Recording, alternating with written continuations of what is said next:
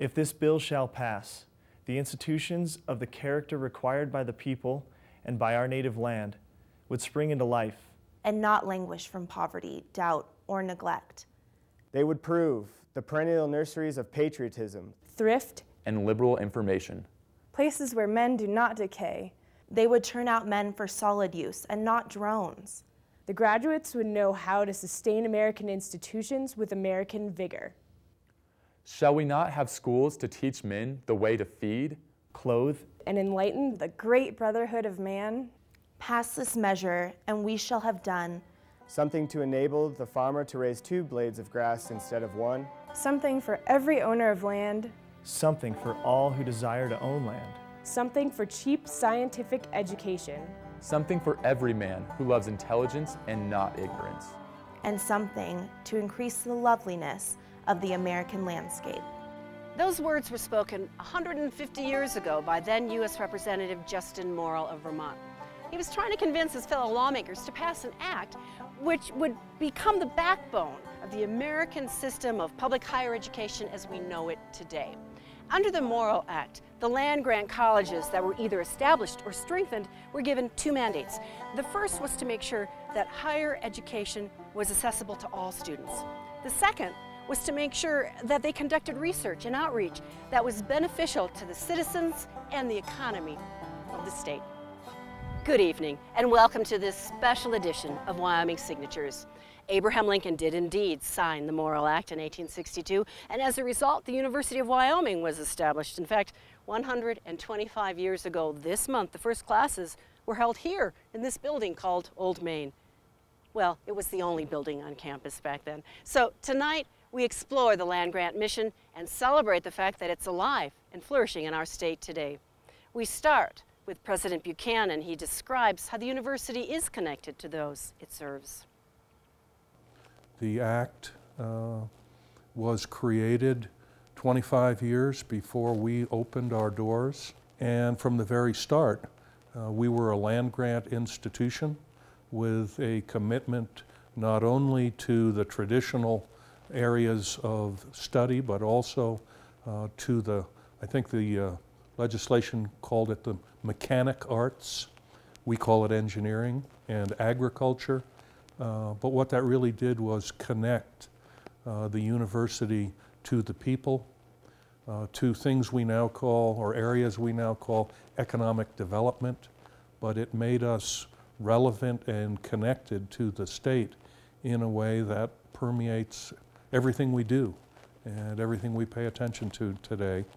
Um, and it, uh, it isn't really possible to talk about how it affects us because it's who we are. It's uh, in the blood of the university. Why is the land grant mission relevant to all citizens of Wyoming and not just in terms of getting a degree? Because we have a role not only to educate young people, but also to make sure that the work we do, the research we conduct, uh, reaches out to the folks in communities around Wyoming uh, and has relevance to them and helps them uh, in their day-to-day jobs and in their environment. Uh, the agricultural experiment stations, uh, obviously uh, an easy example to point to. Cooperative extension, another one. we operate the state vet lab uh, in an agreement with the state. Um, we have the biosafety lab where we study all sorts of wildlife and livestock disease uh, to try and understand better uh, transmissions between those two animal populations, uh, treatments, vaccinations, uh, control. Um, it is uh, dead center in the heart of our College of Agriculture. Uh, and it is of uh, critical importance to, uh, to our livestock industry in this state, which really goes, goes back as far in history as Wyoming goes back. Uh, and it is also critical to wildlife management, which is uh, certainly part of who we are. We take our arts out all over the state to small towns and uh, small communities and elementary schools and junior high schools to perform to uh, show them, not just talk about, but to show them uh, theater and dance and concerts and performances. Um, and we love to do that, and our students love to do that. And um, what happens over time is this, the students that come here are, in fact, the students that we connected with when they were younger, uh, and they were the audience uh, in those small towns and small communities. Imagine 20 years from now, what will the land grant mission look like here? I think it will look much the same at its core because I think what the land grant mission does in a, in a big global way is it connects this university to this state and the people in the state. And I don't think that's going to change. I think that's who we are. It's embedded deeply in our mission and in our sense of purpose, and it permeates uh, the campus and all of our facilities and our faculty as they work and develop their careers here. Um, I think over time, uh, areas of emphasis, uh, particular uh, research uh, directions will vary as, uh, as they become more or less relevant to the challenges facing Wyoming at the time. So while we may spend a lot of time studying brucellosis uh, today, and we may do that for a number of years, uh, we certainly hope the day comes when that's not the challenge we need to focus on anymore. Uh, and there are new challenges that we'll uh, redirect our attention to. So it allows our, um, our daily emphases to change in relation to the needs of the people of Wyoming and the jobs and the businesses and the workforce uh, that we need to populate our industries and our businesses. Um, but I think uh, at our core, um, we began as a land grant, we will continue as a land grant, uh, and it is who we are. President Buchanan, thank you. Well, thank you. The Morrill Act became law during what was perhaps the darkest days of American history. It was the middle of the Civil War. The South had seceded, and it passed primarily because the legislators from the South did not vote. For more historical context, we turn now to Phil Roberts, Associate Professor of History at the University of Wyoming. Why the opposition to the Morrill Act? In many parts of the country, particularly in the, in the South, but elsewhere, the uh, higher education had been a, something for the elites and it really wasn't designed for common people. And uh, the colleges and universities had been formed by either wealthy philanthropists or by church denominations, or in some cases, funded by states. But here was a case where Lincoln and Justin Morrill both believed that uh, education should be much more broadly accessible to Americans. And it shouldn't be just for those wealthy elites, but it should be accessible to, uh, to middle class people, working people, and, uh, and there should be an effort on the part of the nation to uh, try to encourage work in agriculture, in uh, uh, education in agriculture and education in, in engineering or the mechanical arts, as it was stated in the bill. How was it implemented here in Wyoming?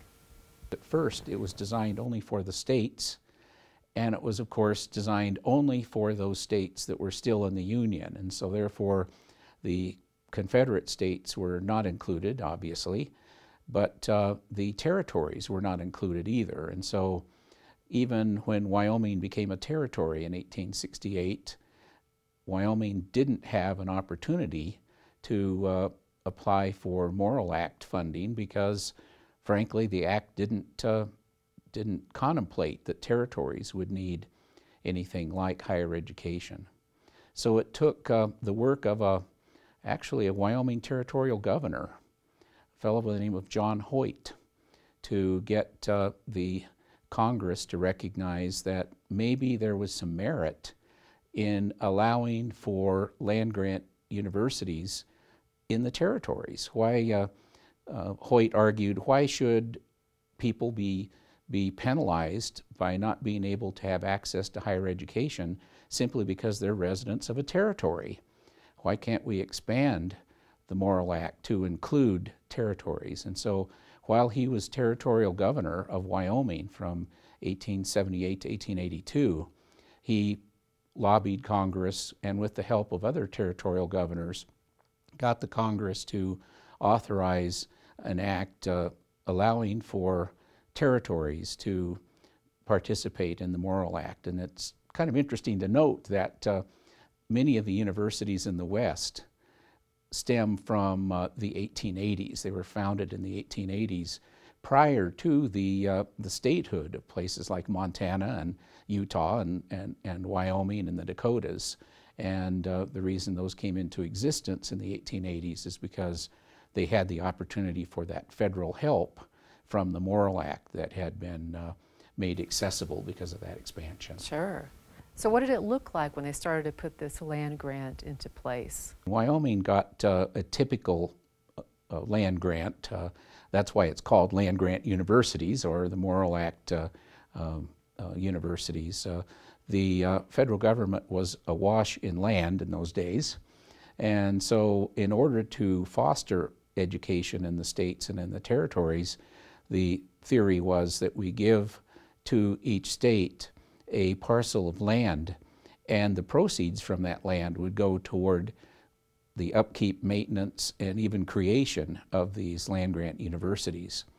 And in the case of most places, they would get uh, 30,000 acres of federal land for every representative that they would have in Congress. So, so you have two U.S. senators and you have a, a member of Congress, you'd get 90,000 acres. Well, in the case of the territories, of course, the territories didn't have U.S. senators and uh, only had delegates to, to the House of Representatives that weren't voting members. And so the way the legislation was designed for places like Wyoming and Montana and other places was a maximum of 100,000 acres could be handed over, and from that 100,000 acres, those territories could uh, then either create or maintain a, uh, a land grant university. A lot of the reason for the establishment of a university was uh, the fact that we would get that land grant from the federal government. As,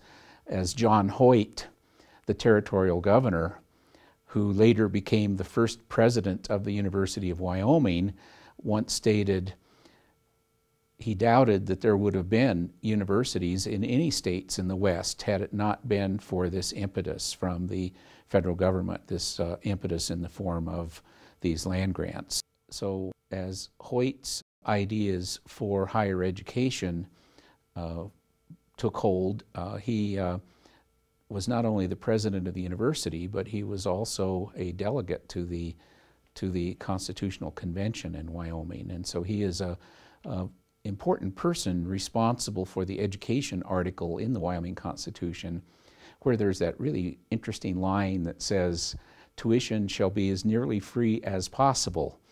And, uh, and he meant by that that the legislature should also take responsibility for higher education and, and uh, properly take care of the university. Not only should it have to rely on federal land grants, but there should be some state appropriations that are, are making sure that students are able to afford to go. The oil money that came from the land grant sections became very important to the university in the 1920s because at that time the uh, drought had taken hold in Wyoming and agriculture was in terrible shape and uh, tax revenues were way down and yet the university was in desperate need of a new library, a new gym, new classroom buildings, and so consequently, there was money coming in from the oil royalties from the university section that uh, could be utilized to build the, the university library that's now the Aven Nelson building and the half acre gym. And this was at a time when universities around the West were strapped for money, and here was UW able to build two, uh, what were at the time state of the art institutions, a library and a gymnasium that were both state of the art. Two important programs started later in time the agricultural experiment stations and cooperative extension. How did that factor into the Morrill Act? Both the mechanical part, that is the engineering school, and the ag school were the main recipients of Morrill Act money.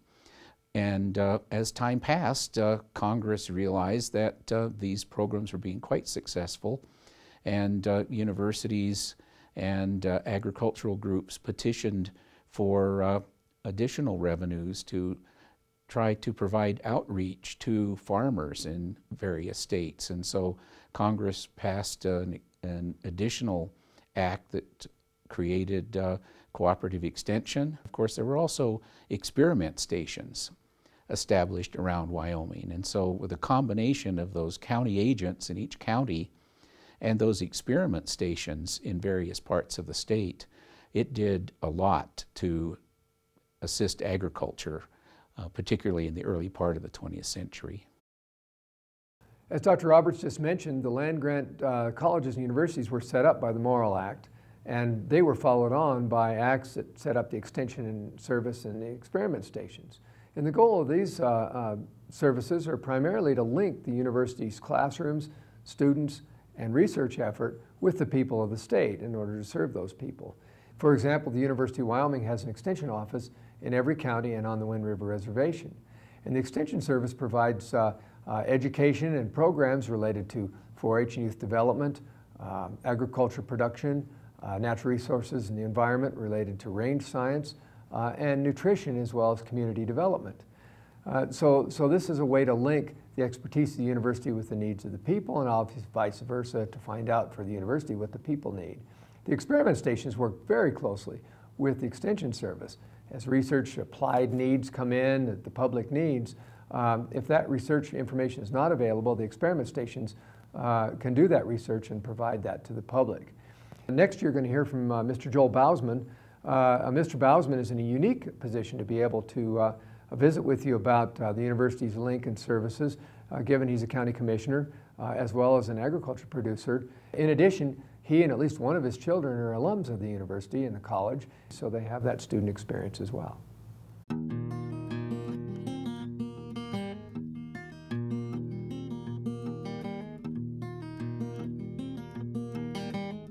I think in terms of the big picture of, of why the land grant university and the extension capability that goes along with that uh, has a in the big picture, it has a big impact on the custom and culture of the counties at the local level, as well as the economic viability of, of production agriculture in the state. Throughout the country, the universities, land grant universities, uh, you know, that's been partly of what they're about.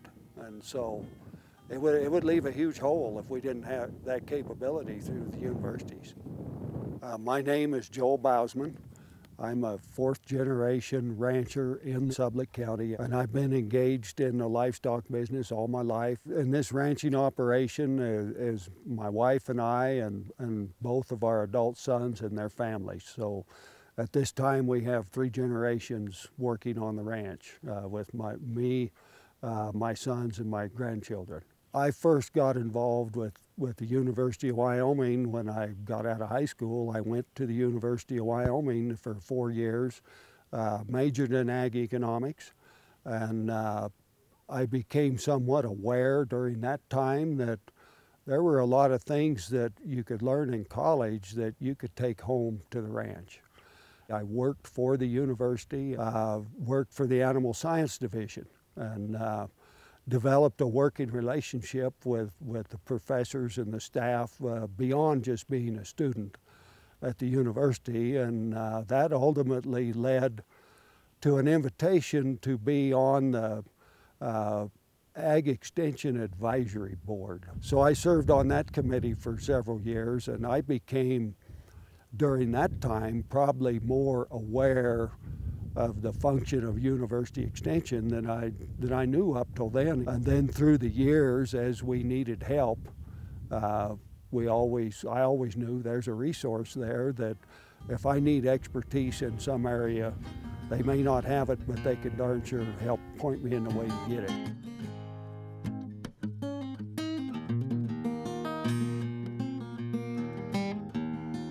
Uh, we had a, a, specific issue on our forest allotment, uh, Silver Creek grazing allotment. I was one of eight permittees. It's a big common allotment and uh, we all run together up there and, and we were in a, uh, call it a disagreement with the Forest Service about the impact that our cattle were having on the resource, uh, specifically impact to stream banks. I didn't agree that the impact was necessarily coming from the livestock. So my first step was pick up the phone, call the extension agent and say, hey, we got, we got something going here. Is there any help available, any technical help in the range department at the University of Wyoming?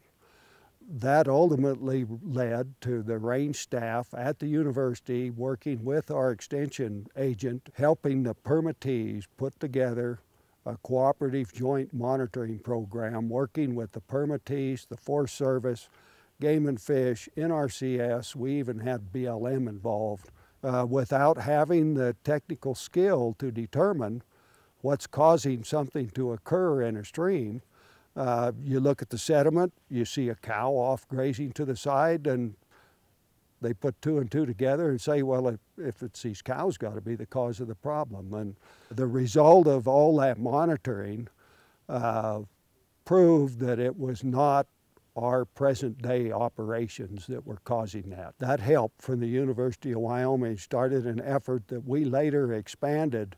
It was picked up on by other states in the country, permittees, uh, took that information back home. If we had not been able to come up with a process that would truly, based on sound science, measure the impact, uh, we were, I guess I would use the word politically, at the mercy of the federal agency.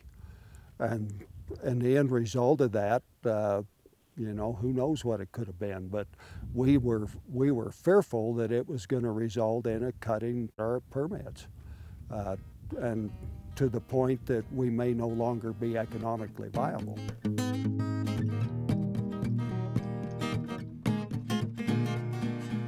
When we first started this conversation about rangeland monitoring, uh, the university range department, they were a professional third party that got us together. We were at an impasse with the Forest Service the reason the university can be effective at that is they're a credible source of information.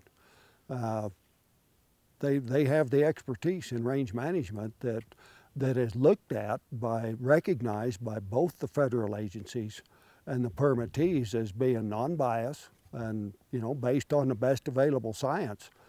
Having extension personnel local increases tremendously their availability and as well as the awareness that they're there.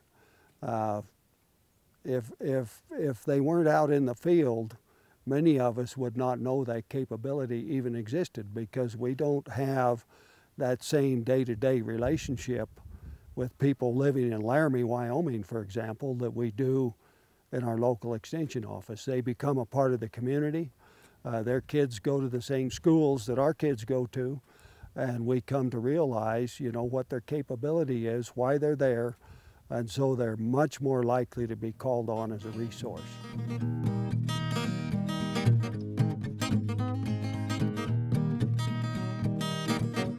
I learned a lot working with the university. I've come to realize the value of folks that even if you may have disagreements, you get together, you look on the ground, and you come to a solution. And that has never failed to result in success in my experience. If we did not have that capability from the University of Wyoming and, and a lot of what they offer today in terms of outreach, I don't know where else that would be available.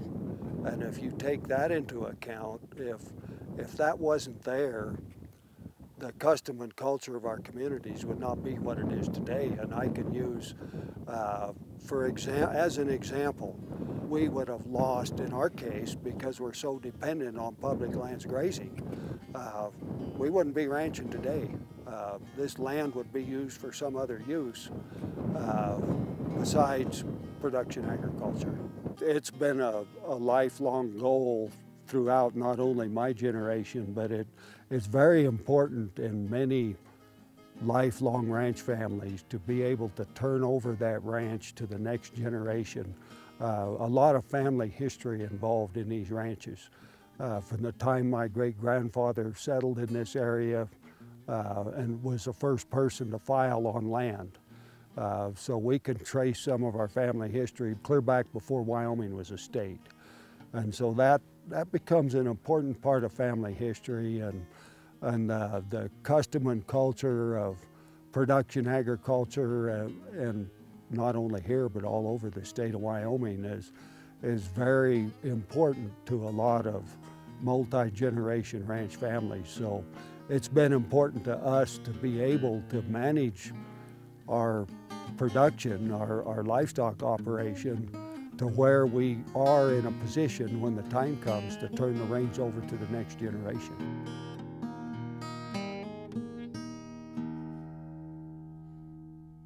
In the beginning, land grant colleges focused on agriculture and engineering, but as times changed, so did the university. For example, our need for more healthcare providers meant that the university joined a consortium called WWAMI so that Wyoming students could go to medical school and then they could come back here and practice.